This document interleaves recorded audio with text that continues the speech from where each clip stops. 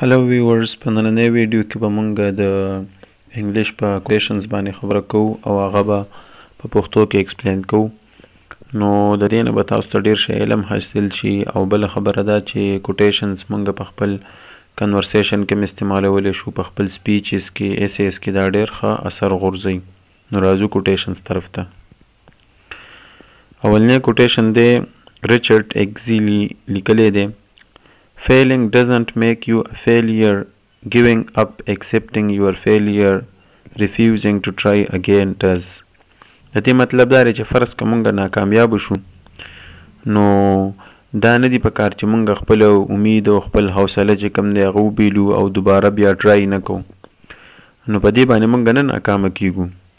موږ به په دې ناکامه کېږو چې موږ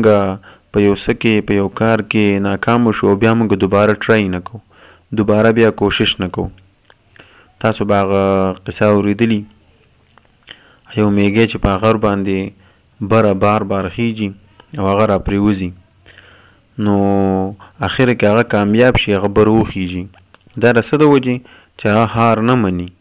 نو مونږ زيات تر خلک چې کله په لايف کې ناکامياب شو نو بيا مونږ هار ومنو بيا مونږ دوباره ټراي نه کوو کوشش نه کوو نو د هغې د وجې بيا مونږ ناکامياب شو بيا مونږ فيل شو نو په دې کوټيشن کې مونږ ته دا وايي چې مونږ فيل شو نو هار منل نه دي په کار دوباره کوشش کول په کار دي نو بيا به مونږ کاميابۍ طرف ته لاړ شو. په دې کوټیشن کې وینس لومبارډي وایي We would accomplish many more things if we did not think of them as impossible.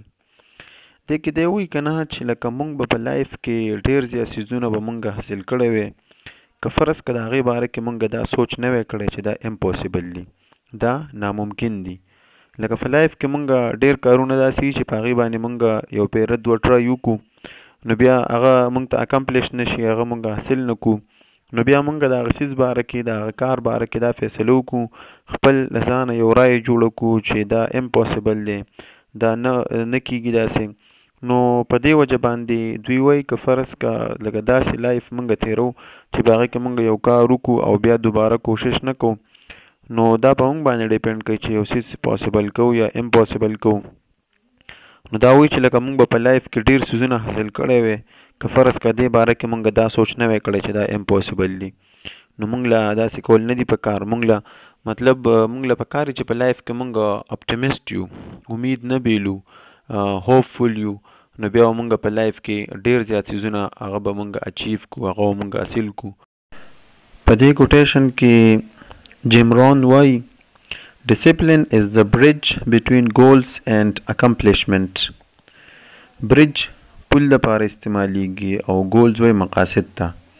او اکمپلیشمنټ مطلب د یو سیز حاصلول نو په دې کې دوی توجه ورکوي فوکس ورکوي په ډیسپلین باندې نظم و ضبط باندې دوی وای ډیسپلین از د برج ډیسپلین دا یو د دې مثال د سره د دې مثال د پول دی چې لکه مونږه ساسې لو زمونږ چې کوم څه مقاصد دي، زمونږ کوم ګولز دي او د هغې د حاصلولو په مینځ کې د ډسپلین د پول کار کوي.